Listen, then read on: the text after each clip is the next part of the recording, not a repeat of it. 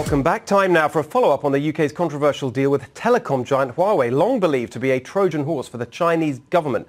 Despite warnings from the US, Britain went ahead last week and invited Huawei in to help build its new 5G telecom network. Here now to explain why that's dangerous for America and the world is Indiana Congressman Jim Banks, who introduced a bill that would stop the US from sharing intelligence with any country that allows Huawei to operate their 5G networks. Very strong stance there. Congressman, really great to see you um, weighing in so strongly on this. First of all, tell us again why this is such an important issue.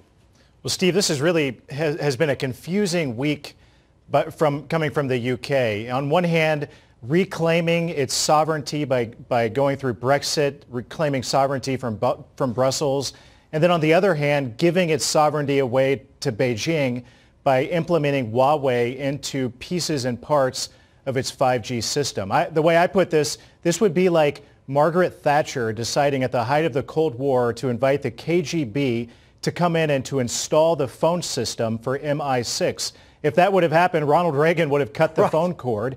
It would have crippled that strategic relationship between Reagan and Thatcher, uh, when, uh, who, that relationship that led to winning the Cold War. In this case, Boris Johnson, other leaders in the UK who have decided to let Huawei um, come come directly through the front door into uh, by into the into the 5G system and implement their technologies. This opens up the door to compromising mm-hmm. our valuable national security intelligence, and it's the reason that the, the, United States of America needs to be more careful in who we share our intelligence with. That, that's why I introduced the bill that I did. Mm-hmm. Well, I'll get to that in a second. I just want you to respond, if you like, to the argument from the from the British side, which is that oh, it's fine because we're not letting Huawei into the core technology. They make this distinction between the core and the periphery, and there's some kind of cap. I think is it 30%, 35%. Um, and so, what do you make of that?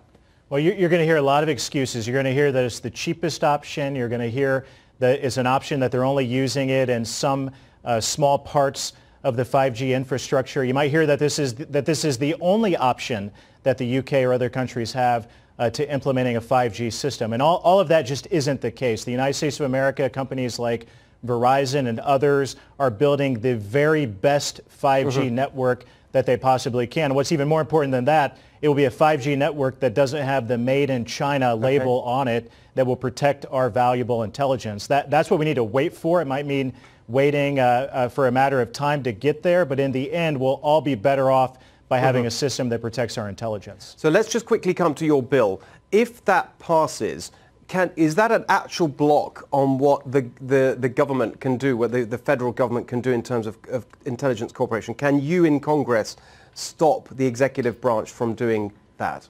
Well, well first of all, let, us step back and recognize that President Trump is the first president in my lifetime who's chosen not to, not to hug the panda bear and appease China right. and rather be very tough on them, both economically and militarily. Right, right. I so strongly agree with you. My, yeah. my piece of legislation that I introduced would give the president another tool in his toolbox as he goes abroad and speaks with other country leaders mm-hmm. to remind them that this would be a dangerous step forward to allow Huawei to have any part of their 5G system. So my, my piece of legislation is, is very much in, aligned with this president who's had very good instincts about the dangers of Huawei every, from, from day one and give him another tool to fight back against uh, Huawei infiltrating uh, 5G networks abroad.